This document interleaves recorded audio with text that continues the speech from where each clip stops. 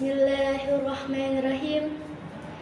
Di sawah ada petani, di sekolah ada guru.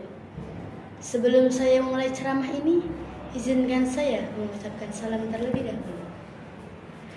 Assalamualaikum warahmatullahi wabarakatuh. Alhamdulillah. Alhamdulillah. Wassalatu wassalamu ala rasulillah alihi wa sahbihi wa mawala. أشهد أن لا إله إلا الله وحده لا شريك له وأشهد أن محمدا عبده ورسوله لا نبي بعده أما بعد Di antara berbagai kata, hanya ada satu kata yang tersenja. Tidak ada dan tidak dua. Kata puja selalu tersanjung untuk Allah Azza wa Jalla. Yang maha pengasih, yang tak pernah berdikasih dan yang maha penyayang, yang sayangnya tak pernah terbilang. Salawat serta salam semoga selalu terlimpahkan kepada junjungan alam, Habib tertinggi, dokternya dokter, profesornya profesor, jenderalnya jenderal, presidennya presiden. Sebagai seorang rasul dan kami, yaitu Nabi Muhammad Sallallahu Alaihi Wasallam. Perkenalkan, saya Jihan Maharani akan sedikit menyampaikan konten hikmah yang bertema istidraj. Apa kalian tahu apa istidraj? Bagi yang sudah tahu, agar tambah tahu, dan yang belum tahu, mari saya beritahu.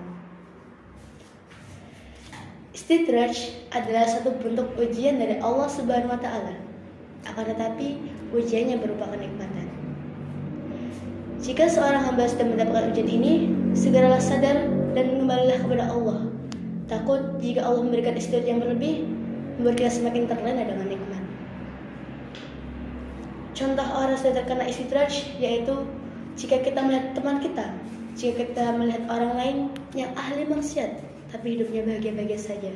Dibandingkan dengan kita yang taat dan patuh kepada Allah, justru malah diberikan ujian dalam segala bentuk.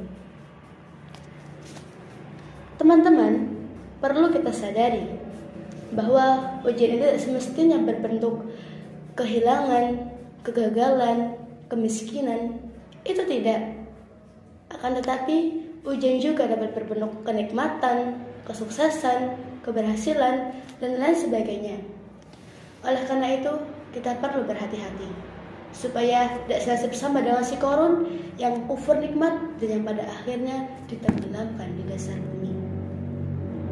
Terutama bagi pemuda saat ini, sadarkah kita kita sedang diuji istidraj oleh Allah Subhanahu wa taala dalam bentuk penjajahan secara halus? Nyatanya banyak pemuda saat ini menggunakan teknologi dengan hal-hal yang kurang bermanfaat. Sehingga buat mereka terlena dan yang pada akhirnya buat mereka malas dalam belajar. Padahal sudah jelas, belajar menurut ilmu itu hukumnya wajib itu kan untuk pemuda saja. Tapi yang tua juga begitu. Sebagaimana dalam Quran surah Al-Mujadalah ayat 11 yang berbunyi.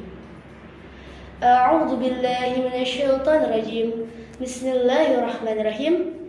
Ya ayyuhallazina amanu idza qila lakum tafassahu fil majalis fafsahu yafsahallahu lakum.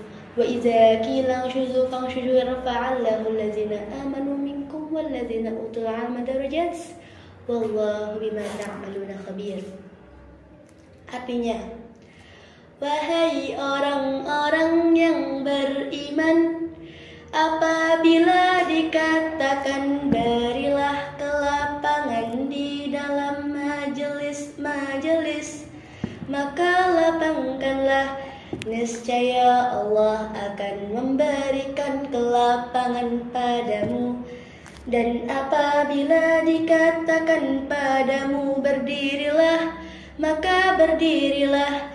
Niscaya Allah akan memberikan derajat yang tinggi kepadamu di antara orang-orang yang beriman dan orang-orang yang berilmu beberapa derajat. Dan Allah mengetahui apa yang kamu kerjakan dalam surat ter tersebut menegaskan bahwa dengan ilmulah dasar kita dapat menjadi tinggi dan dengan ilmulah yang dapat membedakan kita dengan hewan. Maukah kita disamakan dengan hewan? Tentu tidak. Oleh karena itu, marilah kita gunakan otak dan akal yang sudah Allah beri ini dengan sebaik-baiknya. Teman-temanku, sadarkah kalian semua dengan julukan generasi kita saat ini? Julukan generasi Z yang berarti generasi terakhir. Julukan generasi micin yang berarti generasi bodoh.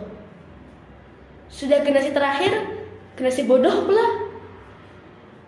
Memang nyatanya terdengar biasa saja di telinga kita. Namun pada dasarnya ini julukan ini merendahkan martabat kita selaku pemuda zaman sekarang. Wahai pemuda, wahai anak-anak zaman sekarang, Sepatutnya kita bersyukur dihidupkan di zaman sekarang yang serba diberikan kemudahan dengan teknologi. Gunakanlah teknologi yang Allah beri ini dengan sebaik-baiknya. Jangan sampai gara teknologi ini membuat kita terlena, bahkan lupa dengan tanggung jawab kita sebagai pemuda, yakni menjadi generasi penerus. Berhubung kita semua ialah penerus generasi bangsa Indonesia, sudah menjadi kewajiban dan tanggung jawab kita semua untuk dapat mewujudkan cita-cita bangsa ini, yakni mencerdaskan kehidupan bangsa.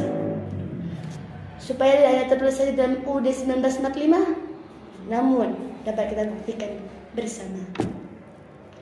Ada orang Inggris yang mengatakan, Remember this, practice makes perfect. Kesimpulan dari ceramah saya ini yaitu bersyukurlah kita dengan kondisi dan keadaan kita saat ini tidak perlu iri dengan orang yang selalu diberikan nikmat yang lebih kepada mereka.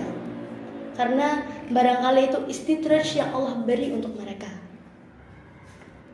Pesan saya untuk teman-teman dan pemirsa sekalian, jadilah diri sendiri karena itulah yang terbaik. Mungkin cukup sekian ceramah yang dapat saya sampaikan. Kurang lebihnya mohon maaf. Nun wal qalami masurun fastabiqul khairat. Di sawah ada petani petaninya lagi nanam padi. Saya Jihan Maharani izin pamit undur diri. Assalamualaikum warahmatullahi wabarakatuh